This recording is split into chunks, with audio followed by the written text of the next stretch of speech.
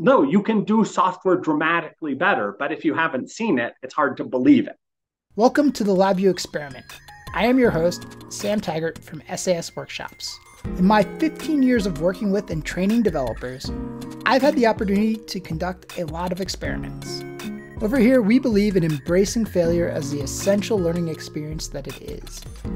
And what better way to learn than from other people's mistakes? In this podcast, I talk to industry experts, colleagues, and friends about their failures and how they have turned them into future successes. So, uh, I am here today with Kyle Aretae.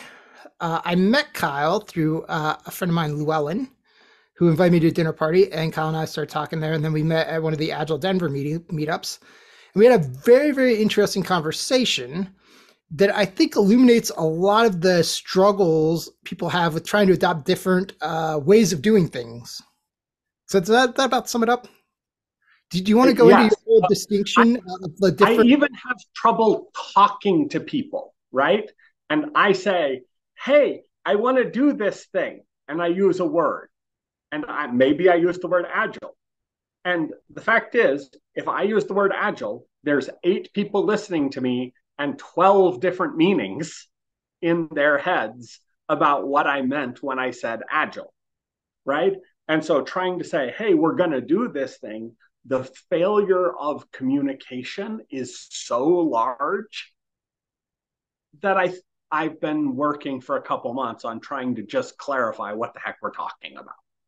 Yeah, right? no, and I, yeah, I, I, really liked your your the way you classified it. There, you had like four different groups, four different things or yeah. stages or something that people work through. Yeah. So here, let me just give them to you right up front. I actually have five. Okay. My claim: if you are doing software, you are probably explicitly or implicitly pursuing a primary goal, and it's not that your goal is the software you're working on. It's your goals about the software you're working on. And so I got five goals that are very stable as far as I can tell. And here they are. Number one, get it done. Completion. How many times have you been in software and heard somebody say, when will it be done? How many times have you been in software and heard people not be able to say any single other thing about the software except when will it be done. Mm-hmm. Yeah. No, that there's definitely shops out there that do that. Yeah. Um, second goal. Usually you see it after somebody's been, when will it be done for a while? Right? They go, wait a minute, our software breaks. Our software is janky. It falls apart. We can't make changes safely. So, what we're going to focus on instead is stability. I want my software to be stable. I don't want it to break if I look at it wrong. Mm-hmm. The real goal. There's a lot of people going that way.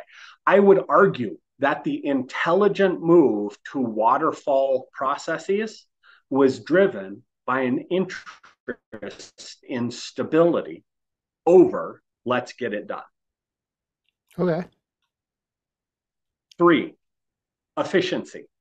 If your software is getting done and it ain't broken, right, mm-hmm. which is a stretch, then an awful lot of the time, what people move to is can we do it faster and cheaper? Can we do it more efficiently? And so I'm using efficient as tag number three. But efficient to me is narrowly faster and cheaper we have a project, it takes a year or two to do the project. Is there any way we can do this project in six months instead? Is there any way we can do it faster? Can we hire folks who aren't as expert and still get it done? Right? There's a whole bunch of work on optimizing for faster and cheaper. And that's a real path to doing software. Um, you see a lot of stuff go on there. You see people start to talk really in terms of cycles, like mm-hmm. quarterly planning cycles and things like that. Those kinds of things start coming up, and you start seeing people look at value stream mapping and waste mitigation. right? How do we remove the waste from our process? We're still going to do the same things. We're still going to do them basically the same way, but we're going to take out that part over there where you have to wait four weeks for somebody to get to something, mm-hmm. right? It's an efficiency goal. And I'm worried that a lot of large companies, if somebody says, hey, let's do agile, they're really talking about the efficiency goal. And that's all they're talking about. Um, in fact, if I was arguing, I would say, I think SAFe leans into that goal. Yeah, I think that's a fair assessment. Um, for what it's worth, I am not objecting to any of these goals. These are all real goals that real people have, and you can have these goals for good reasons. Yeah. So I am not objecting to the goals. I'm simply trying to separate them so we can talk about it. Yeah, no, I, I definitely think there is something about having the language to talk about these things, right? Because, like, observing them is one thing, but until you can actually verbalize it and talk about the differences, you can't have a productive conversation.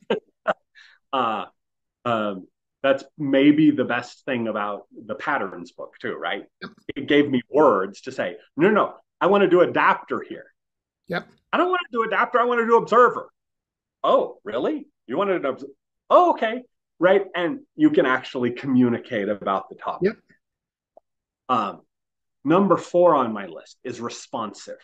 The original Agile Manifesto basically said, look, things are going to come up, things are going to change. We're going to have to turn. Craig Larman's original definition of Agile from way back in like 01 or 02 is you can turn on a dime for a dime. Right? I want to be able to make a change when I learn something new right? That's that's a real goal.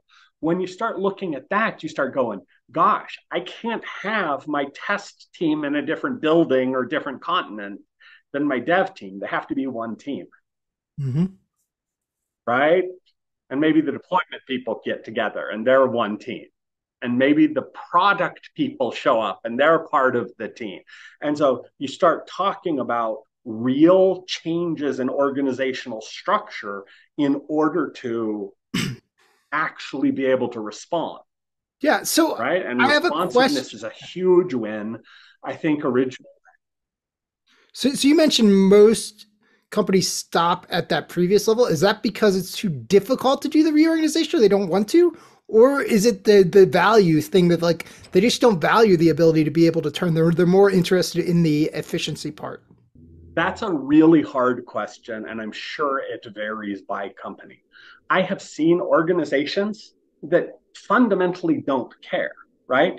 They're doing Agile because somebody said we should do Agile, not because they are pursuing a goal with Agile, right? And so what happens is these changes are easier and these changes are harder. Mm-hmm. And so we do the easier changes because we never bothered to clarify here's the goal I'm actually pursuing. Yeah. And here's how important it is compared to the rest of my stuff. And without that clarification, well, Kyle's saying you should do TDD. That means that you actually have to be working together with the developers on getting better at how we write code. Uh, Fred over there, I don't know Fred, by the way. Fred over there is saying you should have a quarterly planning meeting. Which one's easier to do? Come on, we're going to do Fred's thing. Yep. Right? Again, it's because partly nobody has a language to talk about agile and then go, no, no, boss guy, pick a goal. Pick how much we're willing to trade off in order to achieve this goal. Mm-hmm. Because until you do that, you're kind of throwing practices at random or just purchasing the first discount framework you can find at Walmart. Yeah, I think a lot of times we lose sight of the goal. Like I don't I don't know if it's that we lose sight of it or maybe we never even defined it a lot of times. I think is part of the problem too. Um and it's more than that, right? If you look at large organizations and organizational politics, what you're getting is an awful lot of it is coalitional decision making. And what we don't have a goal in terms of a formally declared goal. What we have is coalitional power structures and whose favors are being traded with whose in order to get organizational influence. And so maybe there isn't even a goal, right? Mm-hmm. It's not that we don't have one, it's that we're thinking in terms that uh, that aren't what's really going on. When I talk about software, I want to move towards maybe responsive or maybe level five software. And somebody else wants to be more in charge of more decisions and be promoted. If that's really the goal, then what am I talking about? I'm talking about a different thing. I'm talking about how you're optimizing your software, and that's maybe orthogonal to a lot of real concerns by senior decision makers. Mm-hmm. No, yeah, I totally get that. Um, so uh, yeah, let's. Uh, what is level five? Then we didn't get to that yet. And so level five, I call discovery. Right now, I've I've changed the words a little bit, but level five, I'm calling discovery, and I'll tell you a cute thing that I'm doing in a minute. Um, I'm calling level five discovery, and really the idea is once you can deliver software on a weekly cadence, nobody cares if you go a lot faster, right? If I can deliver working chunks of software at the end of the week, every week, and it's clear value to the customers every week, there's nobody who is saying, but why can't we do it every day? I mean, occasionally somebody will say, well, can we do a midweek deployment this week? But nobody's really pushing for, but can we have this in two hours? Right? That's not the thing we're chasing what we start going is I can build this stuff so fast that I can find out what I should really be building. Right? The single, okay, so the first experience every programmer in the world has had is you write code and you push the button and it doesn't work and you have to debug it and you spend more time debugging than you do right. Mm-hmm. Right? That's everybody's done that. The second experience literally every programmer in the world has had is somebody says, Can you build me something that is blue? And so you write some code and it comes out blue. And they say, I don't want it blue. I want it green. Yeah, right? that's not the shade I wanted. Yeah. really annoying. No, I literally remember sitting up at midnight, moving stuff across the screen one pixel at a time, and like moving it one direction. They're like, "No, that's not good. Move it back." And I'm like, "Really?" Yeah. right. So, like all of us in programming know that a written requirement is basically worth nothing, right? The written requirement tells you what your first guess is, and then you're going to deliver it, and then you're going to find out the second guess. Mm-hmm. And maybe by guess four, we've actually figured out what the customer needs. But the written requirement that's like guess one. Like, really, that's all it is. So, what you start getting the ability to do once you start dropping under a week is to have a better learning cycle, a better discovery cycle.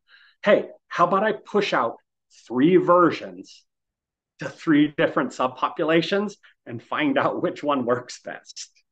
Right and you start getting the ability to respond in that kind of way to a discovery model of software rather than a oh let's finish it or oh let's let's just respond when we notice instead of responding when you notice you go looking for the information up front because you're fast enough to be able to do so yeah that is very interesting yeah I never really thought about that proactive learning part of it. Like I, I feel like I'm in that last group, but I, I was never mm-hmm. like I was never doing it saying, "Oh, I'm going to go learn." I'm just like, "Hey, the sooner I get them what they what they don't want, then I find out what they want." Kind of. Well, well, but as soon as you start doing that a little bit, you go, "Wait a minute, can I build in monitoring here so that when I push it to the customers, have statistics to determine that this version isn't as good in terms of click through as that version. Mm-hmm. Right. And can I get that information on a inside of an hour? And can I turn it around and make a decision about which version to use? In that, can I automate that? Mm-hmm. Right? Hey, if I write this code, what's the performance like? How fast am I going to learn what the performance is? And so you start optimizing for speed of learning instead of speed to customer because customers don't care if you're doing faster than a week, more or less. Right? So my, my next question, I guess, is how, how do all the various practices that are sold as agile and, and the various frameworks, how do they fit into this? Uh, um, so I'm going to give a really simple answer, and then we can look at it more uh, interestingly. If if a practice is talking about things you do, and you do it on a time frame that is let's say less than a week, mm-hmm. you're probably moving in ways that help us to optimize for learning. If you're talking about something or your practice is focused on timeframes that are weeks or maybe a month, you're probably talking about responsiveness. If you're talking about stuff that's operating on quarters, you're probably talking about efficiency discussions. If you're talking about practices that are generically somehow better, but you're not talking about doing it repetitively every cycle, you're probably going to end up talking about stability. And everybody knows that if somebody's asking, when will it be done? Yeah. Right? we're, we're talking about completion. So, as an instance, SAFe's practice of agile release trains, that is an efficiency focus. Very clearly. If somebody's talking release trains, they're talking efficiency. Right? I'm pretty certain of that. If somebody's talking value stream maps, and your value stream maps are quarters or year to get from hey, customer wants something to the customer is using the thing, you're still probably talking about efficiency. If somebody's yelling about bugs, right? Mm-hmm. Um, if you're putting in things to make sure it doesn't break and it's okay that this thing you put in slows you down, we're talking stability, mm-hmm. right? Um, code review is a stability move. Um, architecture review boards are a stability move. Those are the big ones uh, that I tend to look at. Um, if you have a weekly status meeting with executives that says, hey, which things are done? How close are they to done? Red, green, yellow. Are they done? where red, green, yellow is not. How good are they, but are they done? Mm-hmm. Right? You're probably talking completion. I put most traditional agile practices into the responsiveness category. Hey, we finished something in two weeks. Now we can show it to you, a user, and find out if that's what they wanted. Cool. That's a responsiveness play. Hey, I'd like to uh, plan two week cycles. I would like to get together in the mornings every day and make sure we're all aligned. Okay, well, maybe we're talking about learning. It's probably still responsiveness. Hey, I want to get together in the mornings and find out how much we're on track that's probably leaning towards efficiency more than responsiveness, right? So I can see stand-ups going either way. Um, code reviews clearly a stability practice. Trunk-based developments clearly a look. I want to run my cycle in minutes, mm-hmm. right? Those are you do that if you want learning speed, if you want to find stuff out faster right? I'm mm-hmm. inclined to say that if you pick a practice, let's talk about the duration or the cycle time of the practice, and we can guess pretty well what where it falls. into the process. Yeah, the, the other thing I, I'm kind of thinking about in this discussion is some of these things are very much at odds, right? So stability versus being able to change, right? Like if you know, like for example, like if you're a, a kayaker, I'm not a big kayaker, but you know, a sea kayak is designed to track straight, and it's long and it's narrow uh-huh. and it goes really fast straight. You try to take it down uh-huh. water and you can't turn. You take a little playboat and you can turn on a dime, but you try to paddle across a bay, it's really hard because you're constantly course correcting because it wants to go all over the place. It's squirrely. So love it. Yes, right. Um, my favorite example would be um, code review versus trunk-based development. They're just not going to work very well, right? You do your trunk-based development and you deploy, right? That's you don't do your trunk based development, and then wait six months for somebody to check your code.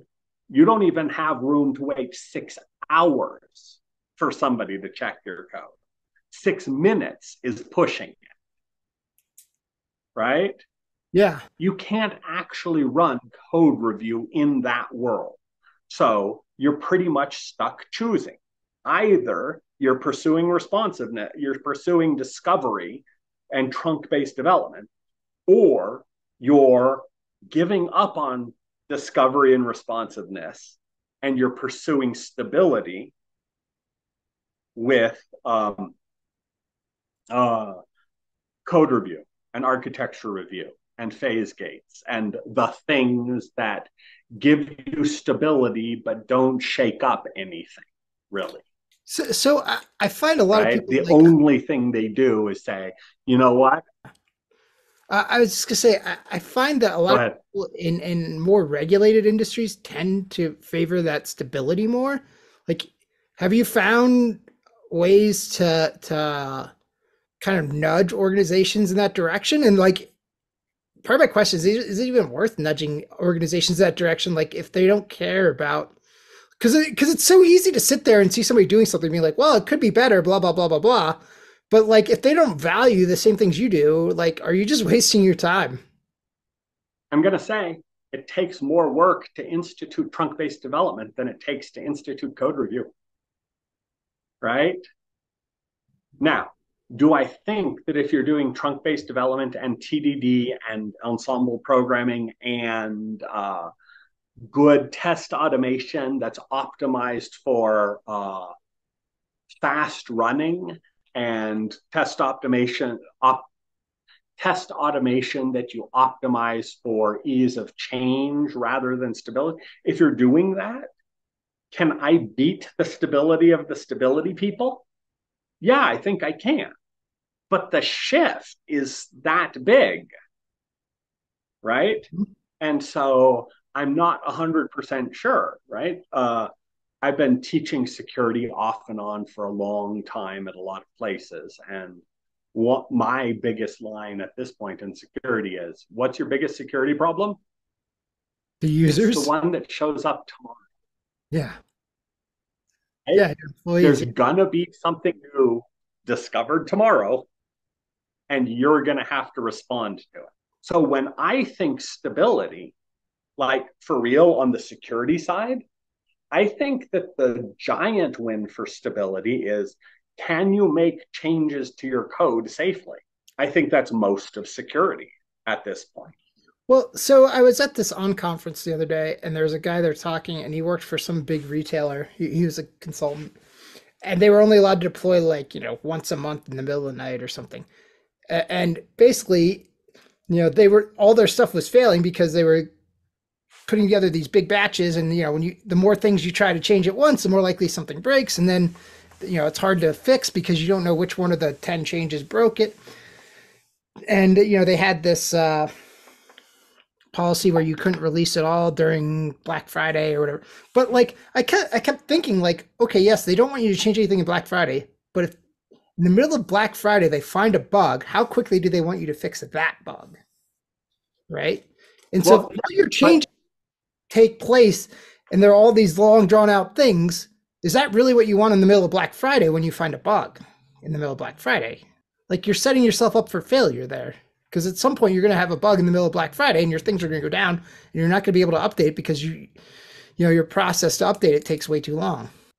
It, does the so one of the things that I have uh, one of the things that I have difficulties with is I so that is for lack of any other words besides mine um, that's a responsiveness mind frame right as you're talking about stability and you're talking about efficiency, people, when you think that way, you think in terms of how are things going to go when they go according to plan. Let's make our plans better and we can go along with our plan, right? And maybe I want my plan to run faster but I'm still basically going with my plan and I trust that my plan's going to work. the responsiveness people turn that on the head and go, the plan's not going to work. I know the plan's not going to work. I don't know how it's not going to work. So, what I want is the ability to respond when the plan doesn't work. Mm-hmm. That's a fundamental as my buddy likes to say, it's a mindset shift. Right? Do you expect the plan to work or do you expect the plan to fail? If you expect the plan to fail, you build a responsiveness system. If you expect the plan to work, you build an efficiency or stability system. Those are different models. If you super expect the plan not to work, you build a discovery model. figure out what the plan is or should be or yeah. to figure out what the next three steps should be. yeah, yeah. That's interesting. Yeah, right? I wonder is part of it like a lack of humility that they that people just think they can predict the future or they they just don't realize how many variables there are or what what's the if you say we are going to produce a 20 page report at the end of the week, mm-hmm. next week. Can you do that? Yes, you yeah. can. What are the odds that that doesn't go right? That you can't produce the 20 page report? Quarter of a percent, right? Somebody yeah. dies or yeah. gets super sick or, right? Mm-hmm. But you can always produce the report. What about an accounting report where you collect all the data? What's the limiter on that? Well, if you throw enough hours at the problem, you can get the data and you can compile it and you can display it. I think that the fundamental problem is that programming is different. We we can fail. You can build something and it can not work. Mm-hmm. And throwing more hours at the problem will frequently increase the bug count as your developers get more tired. Mm-hmm. Right? You don't have a linear relationship between inputs and outputs. You don't have an ability to hack your inputs into outputs. None of those things are there. And so, what you're dealing with is instead of a uh, instead of a system where more effort can guarantee success, you're dealing with a chaotic system, a system in which adding inputs won't necessarily give you the output. And those are not the kind of system that business people are optimized around.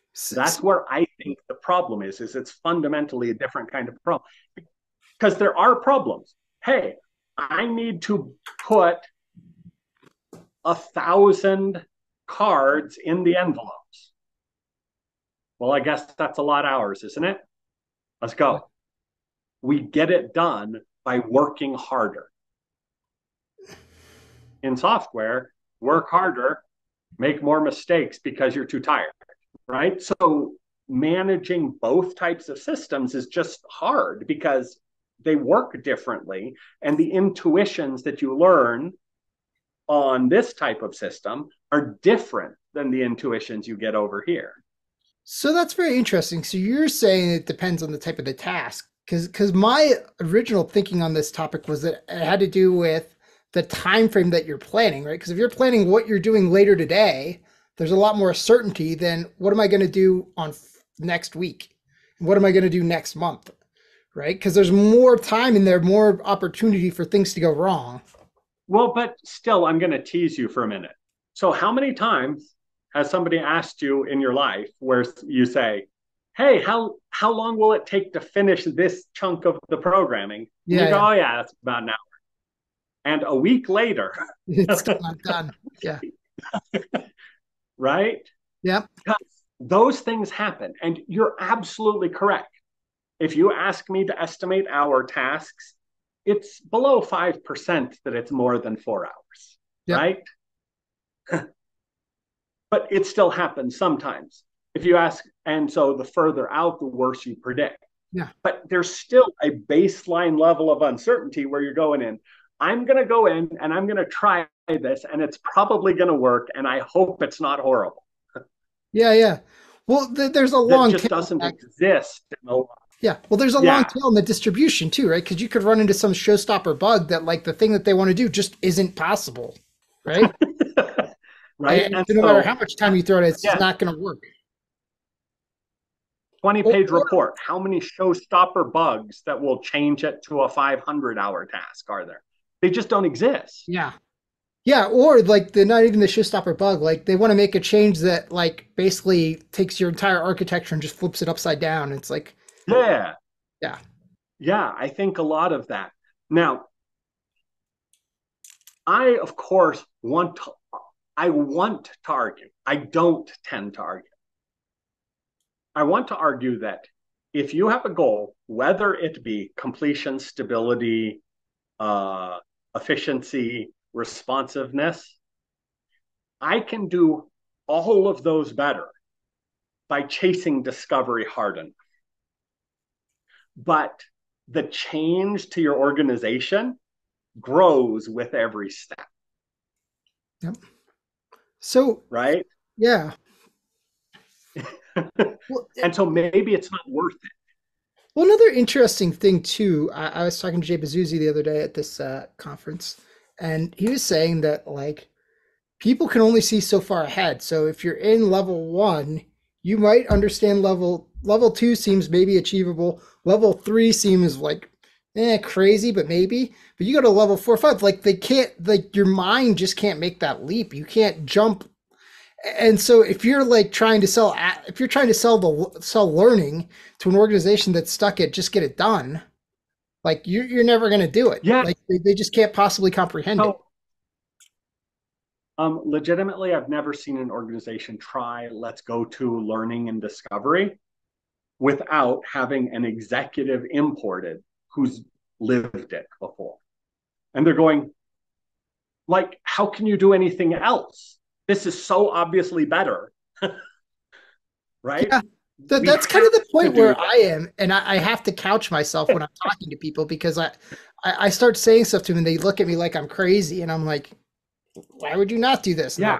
they come up with all the reasons, and I'm like, well, "Okay, but that doesn't stop you from doing it." And they're like, "No, no, no, we, you don't understand." And I'm like, eh. "So Yeah. Well, it's it's just the gap, right? How I think I can do stability better with a discovery model where legitimately I deploy every couple hours to production. That's that's the world I want to live in. How much better is my stability if I'm doing that than if I'm doing good, safe code review and architecture review and requirements review and careful testing before every single deploy. Legitimately, it's not that much better.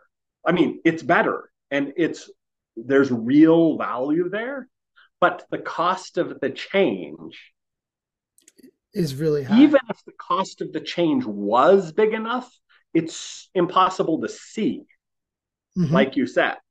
So I'm going to do stability things and keep my review boards and keep my phase gates and keep because I'm optimizing stability. if you want to switch and optimize efficiency and do quarterly releases instead of annual releases or when we're done releases, okay, let's switch to efficiency. Efficiency is a good goal.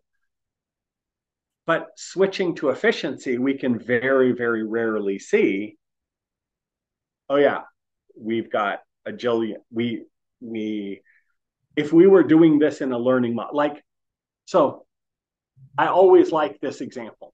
Once upon a time, I was at one large company and I said, Hey, how long to do this thing? 5% discount for veterans on Veterans Day. Mm-hmm. They said, Give me two weeks, we'll give you an estimate.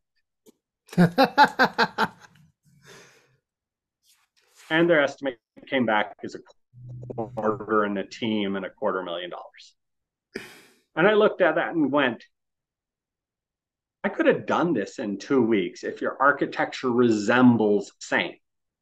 Mm-hmm. How about me and a tester for a week? And let's call it 25K, right? But I said, you know what? I've got this humility thing going on. Maybe I'm wrong.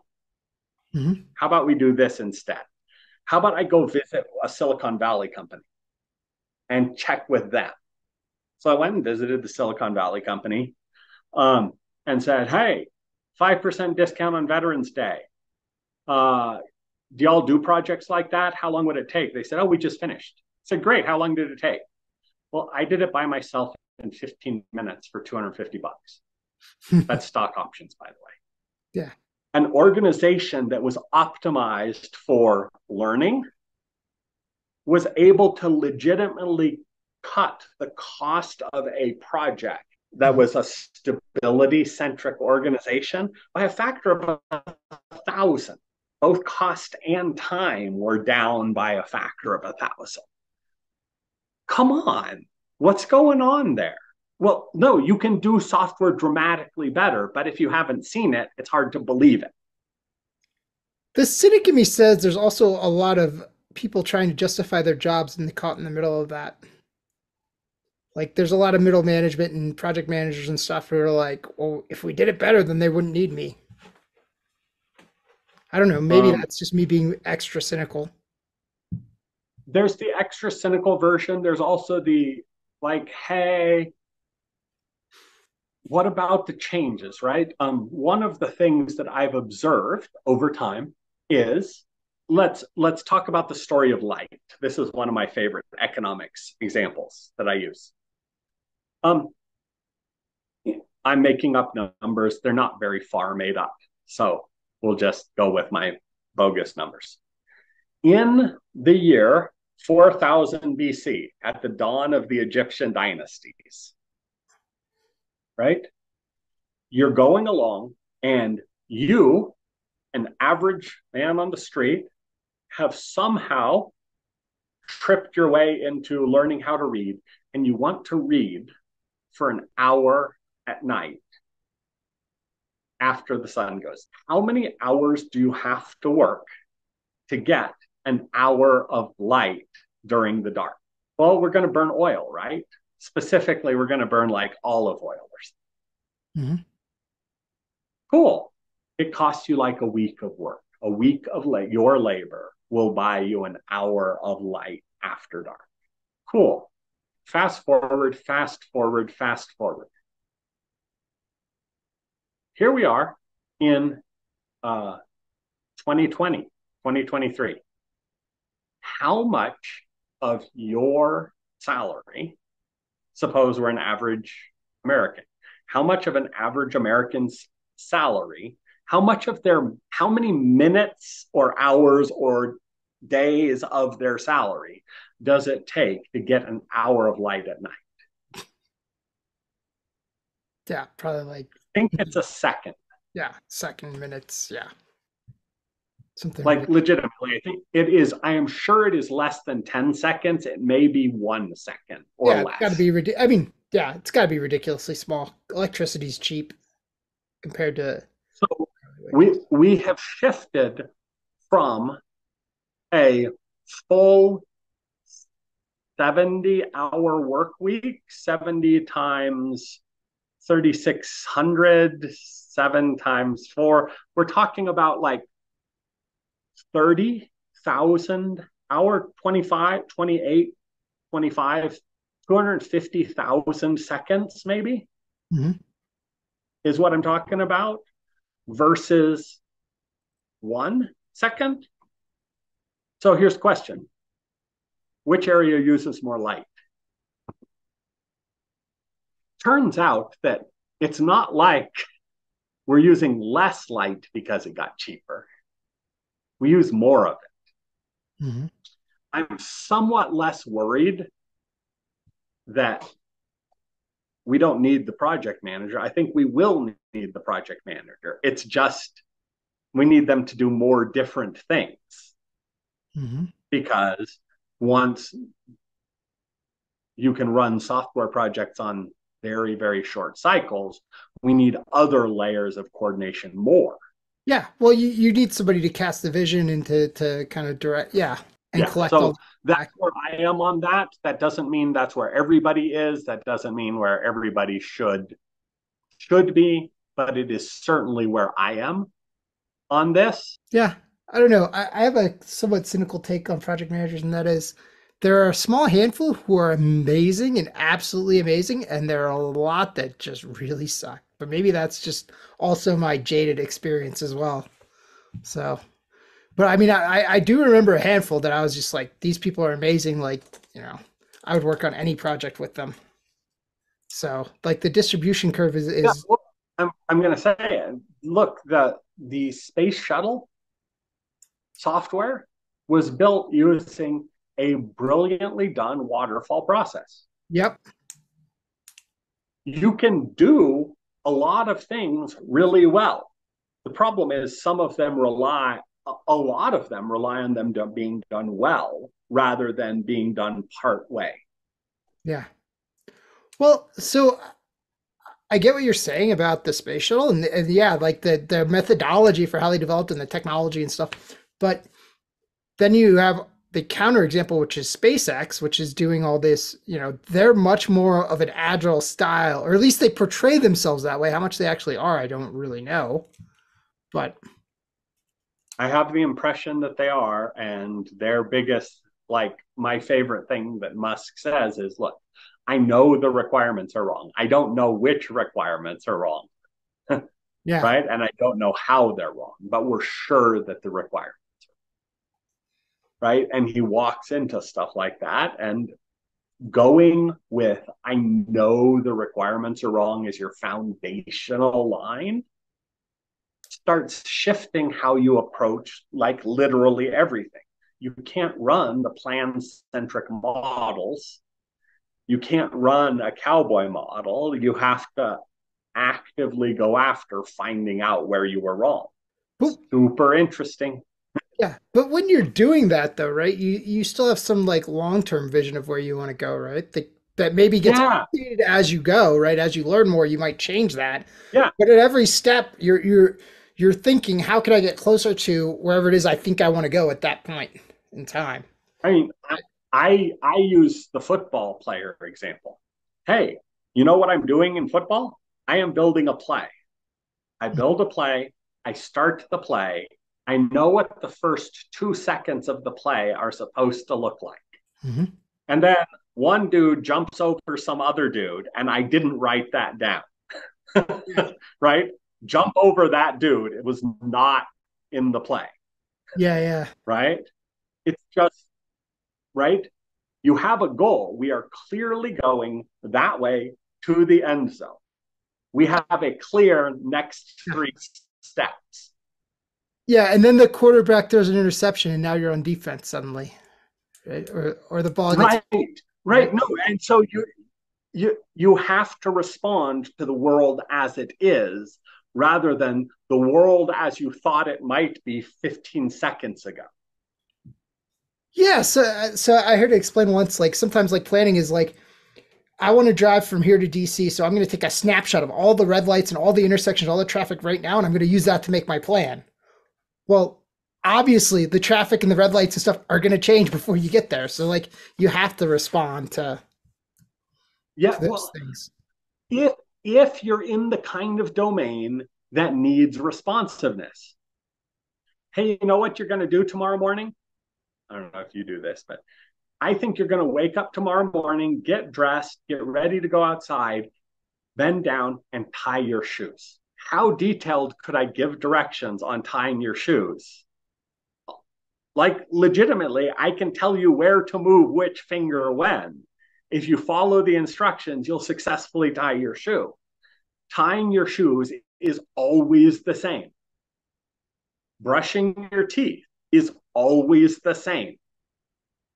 Putting on pants one leg at a time, like everybody but Superman, is always the same. Right? It's not like these are things that require adaptation. Some things you can just do them and you can reliably follow the plan. Yeah, Other well, th- those are the things that we get to the point where you just do it automatically, like brushing your teeth. You don't even think about it, right? Tying your shoes. How many people right. actually you do it the same driving a car? The same even, way I do now.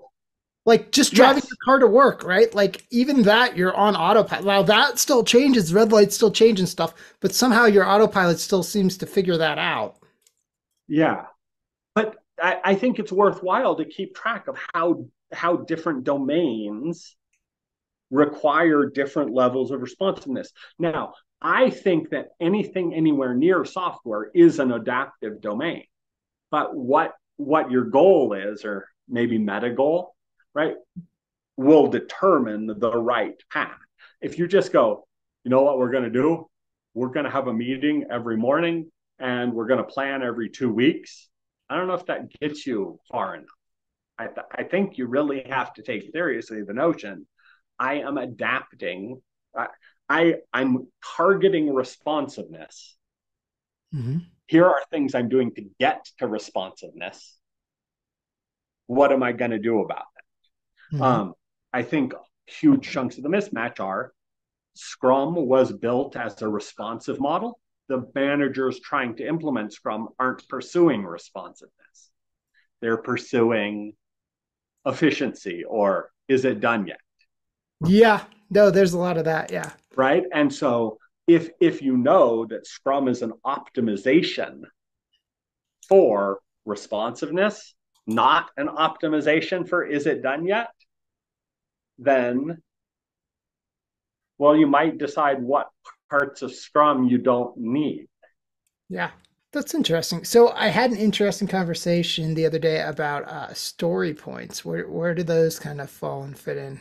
story points are somewhere around efficiency to low responsiveness they disappear at the high end of responsiveness like i find story points to be pretty useful if your goal is to deliver what you predicted mm-hmm. on a monthly basis when i'm running weekly sprints i hate story points right they are worth less than what we're doing.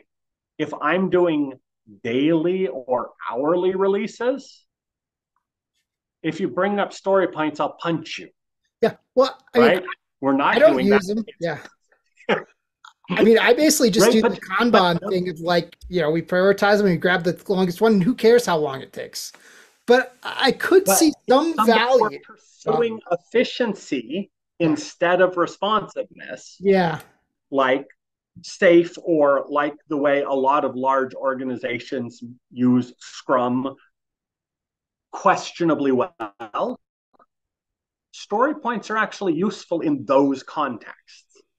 Well, right? See, They're not yeah. actually. Well, I was just thinking, like, I could see if you were working in a like a Kanban style thing, I could see that being useful just to like track over time and say, hey, is my output suddenly dropping or going up or down? Although I don't know that that really matter. Like, I mean, the ultimate measure, right, is like, what am I delivering to the customer and are they happy with it? And if they're happy with the progress that I'm making, why do I care if I'm doing 10 story points a week or eight or five or 12 or whatever it happens to be, right? So there's a mild valuation problem in terms of, hey, I have a hundred options for what I could build next. Mm-hmm. And so making a decision about which one I should build next when some things are higher value and some things are harder and you're trying to do the trade-offs whether you do SAFe's weighted shortest job first or whether you do some sort of division problem or whether you just go no screw it we're just going to look at high value. If you do no estimates then you say hey all stories are small enough to work mm-hmm. right? And we care about the variance between them there's lots of room, but somebody has to decide what goes first. And what goes first, it's probably some sort of value per time calculation, right? Even if this thing's the most valuable thing, if it's going to take me six weeks, maybe I don't want to do that compared to the second most valuable thing, which takes six hours. Yeah. Well, part of it too is the idea of a task that takes six weeks just seems crazy to me because I, I, I mean, like I can have a goal six weeks out, but like to me, a task is like something I can do in a few hours or a day. If it takes longer than that, like I haven't broken it down enough, or at least so maybe again, my, my a yes, but again, this is a responsiveness or discovery model, right? Yeah. That's how responsiveness and discovery folks think. Okay. Not so I'm just operating from a different model. Right. Well, that, that, that explains coming... a lot of the conversations I have with people and why they look at me like I'm crazy. I'm just working in a different model. Right? They're walking in going, hey, what is our real, um, how long is it going to take? They're not thinking in terms of breakdown because they don't care about the breakdown. They care about, wait for it, when will it be, done? Okay. right? That's the thought process going. And maybe they care that it gets done faster. But fundamentally, the thinking problem is not how do we confirm as we go that we are finishing pieces and successfully progressing? Right? Mm-hmm. Which is how a discovery person goes, hey, look, it says six weeks. So I'm going to break it down into 40 tasks over those six weeks. I'm going to build one and check that it worked. And I'm going to add on to it and check that that worked. And then I'm going to build the skeleton that goes all the way through and check that that worked. And I'm confirming the whole way. If you're not confirming the whole way, what's the value of the smaller pieces? Yeah, you're right. Interesting. Except for the three of those checks which don't come back right and you go oh shoot i should be doing something else. Yeah yeah. Right? So there's real value to checking but if you're a if you're in the the plan is probably going to work model mm-hmm. again yeah that's that's very interesting. Yeah I, I often feel like i'm swimming upstream sometimes. Well again i think it's a communication problem and i have been failing for a very long time because I don't think pursuing efficiency on three month cycles is a bad decision. It's never what I'm talking about. yeah, I was gonna say, yeah, like, yeah, it's it's just not the decision I would make, I guess. But then again, I, I mean, maybe I'm operating under different constraints too. So, well, I'm willing to. If that's what somebody is pursuing, great. Mm-hmm. I am happy to give them even suggestions on how to do it. If what you're doing is trying to learn or starting from I'm wrong, mm-hmm. or my my words are always I'm wrong a lot. Yeah, yeah. Right. If we're starting from I'm wrong a lot, then there's a whole lot of probe and respond. Mm-hmm. Right? Probe what's going to happen? What should we do? Is this what the customer really needed? Is it what's written down? Hey, how's the performance on this piece of code? Can we run it? Can we build the skeleton, a walking skeleton, and performance test that thing? Those kinds of questions are things that we're going to be wrong a lot, make obvious. And we're going to be right most of the time, find completely unnecessary. Yeah, I guess the the big question then is how do you find clients who actually think that same way?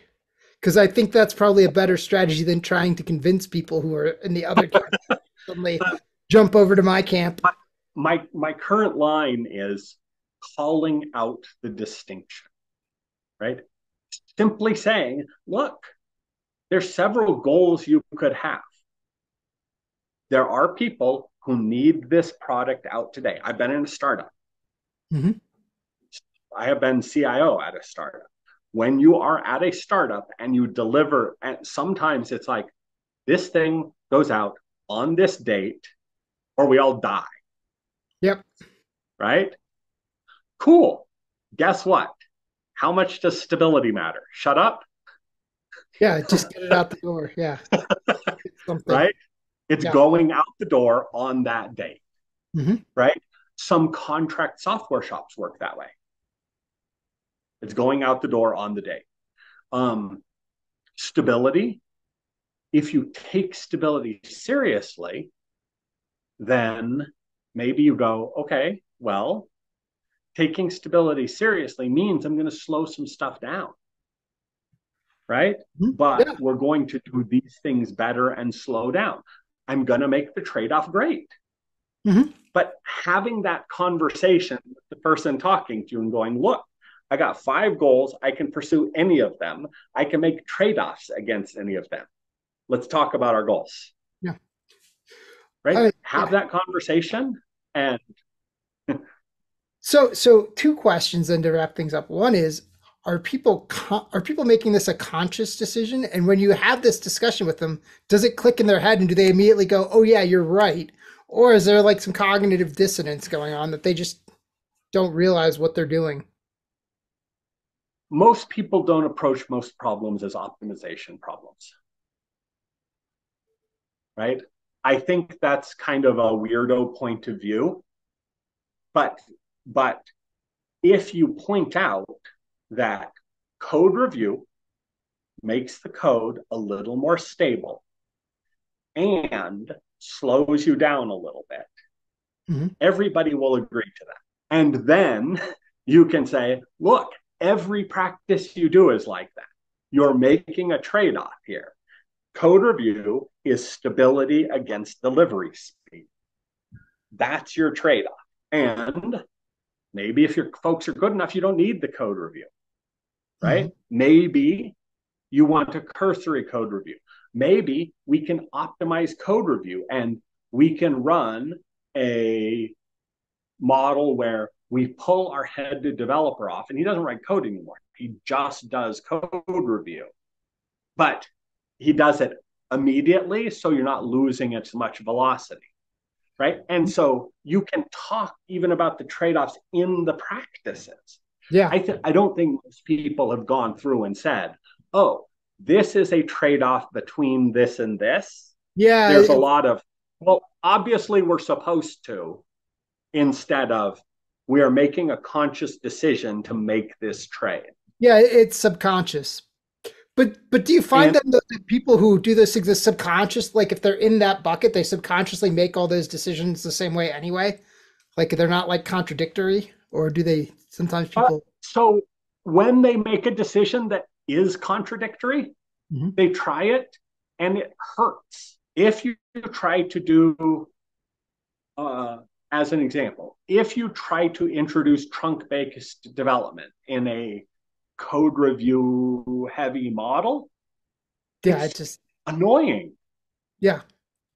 Right? You're doing it, you're getting no value out of it, and it's taking a lot of work to churn through the rest of the molasses. And so eventually something gives. Either this one practice you're doing over here, or these 40 practices you're doing over here that are all promoting stability. Yeah, and the easiest thing is to get rid of right? the it's, rather than change the 40. Yeah. right? So just for fun, the model I'm using in my head is main sequence stars. Completion is a black hole.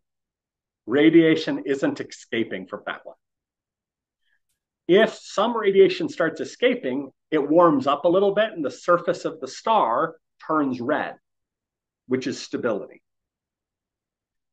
If you heat up a little more, you become orange. You're pursuing efficiency. If that heats up a little more, it becomes yellow. Now you're pursuing responsiveness. If you heat up more, you get to blue, which is uh, discovery, learning. Mm-hmm. Turns out it doesn't matter how hot you make the surface of your star after that, it stays blue. Okay. Right? So I'm using the stellar sequences and I'm using stars because each one of them has gravity. If you go to stability, you're stuck in stability without a lot of lift. If you go to efficiency, you're going to stay in efficiency and you're not going to move on to responsiveness. A lot of the things that get you stable and efficient are in the way of responsive. Yeah, there was a book once titled something like What Got You Here Won't Get You There. And I thought that was a great title. Yes. Not yes. And so I'm talking gravity ones, right? And so I have these stars, and right now my working title is Blue Star Software Development, right? Because mm-hmm. you're talking about something that's a really hot thing and it's different, and you have to exit your other gravity well to get here. And mm-hmm. honestly, the hardest part is exiting the old gravity well. Yeah, once you get out of it, then then it's easy to fall into the next one. yeah. But also that goes to the thing of like you can't jump too far ahead because you try to jump past it and it well, just it turns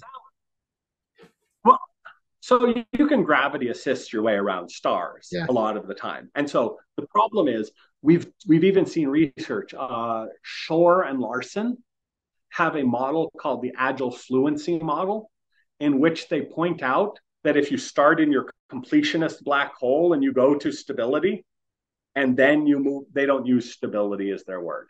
But if you go to stability and then you go to efficiency and then you go to uh, responsiveness, it takes like 10 times as long as going directly to responsiveness. Hmm. Because you, oh, because you have to leave the gravity well each time right? yes. Yeah, yes. Okay. Because because right? then you that's settle into that new comfortable thing, and then you got to give up the new comfortable thing again, and that's what costs the money. Like the energy is in giving up the comfortable thing. Yes. Right? So once you once yeah. you get the energy to give that up, then you can jump anywhere because you you've yeah. I mean, it's still further to get to responsiveness yeah, yeah. than it is to get to stability. It's just if you go to stability, you're gonna get stuck there. I yeah, because you got to pay the cost to get out of. Yeah. Okay, that makes sense. Yeah, that's uh, it's been a very interesting conversation. So. Thank you for having me. It's been fun. Uh, and uh, you'll have to give us uh, some links, and we'll throw them in the show notes on where people can uh, read more and find out more about you. So. Uh, sounds good. Uh, LinkedIn for sure. I sent you a bio, um, and I will probably have to build a website around this. All right. Well, very good. Thank you. That's it for today's episode of the LabVIEW Experiment. Thanks for listening. If you have any comments or questions, head over to thelabviewexperiment.com and drop me a note. And don't forget to subscribe to the podcast and follow us on Twitter and Instagram at the LV Experiment.